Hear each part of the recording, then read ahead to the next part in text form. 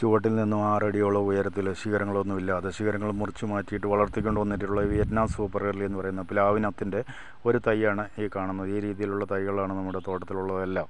ഇപ്പോഴിത് പുതിയതായിട്ട് ചക്ക പിടിച്ചുകൊണ്ട് വരുന്നു. ഇതിപ്പോൾ മൂന്നാമത്തെ സീസണാണ് ഈ വർഷം തന്നെ. നാടൻ രീതിയിലുള്ള പ്ലാവുകൾ നാടൻ ചക്കയുടെയൊക്കെ സീസൺ ഇപ്പോൾ അവസാനിച്ചുകൊണ്ട് വരുന്ന സമയമാണ്.